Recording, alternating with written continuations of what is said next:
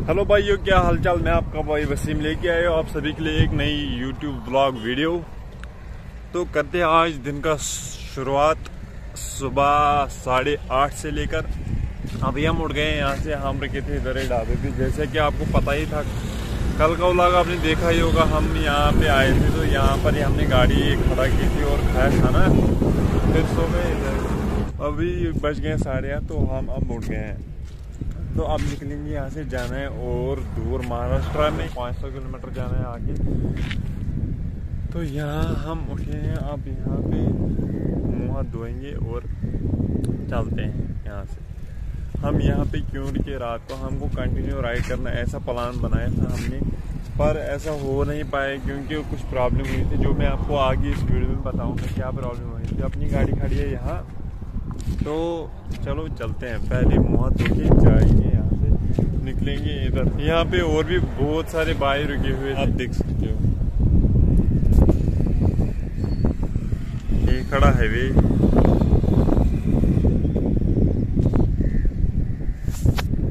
बोरी बोरी।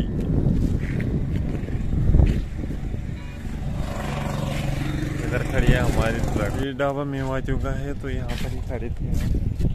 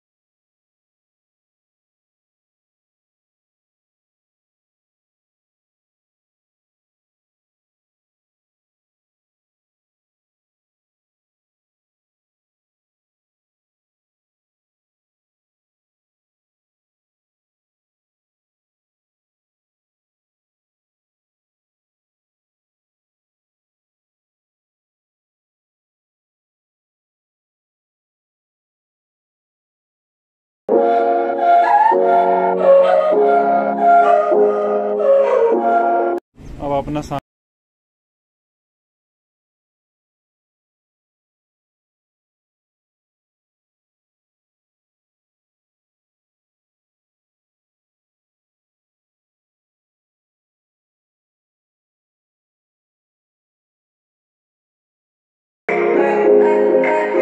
तो हम हो गए चलने के रेडी तो चलो भाई चलते हैं हम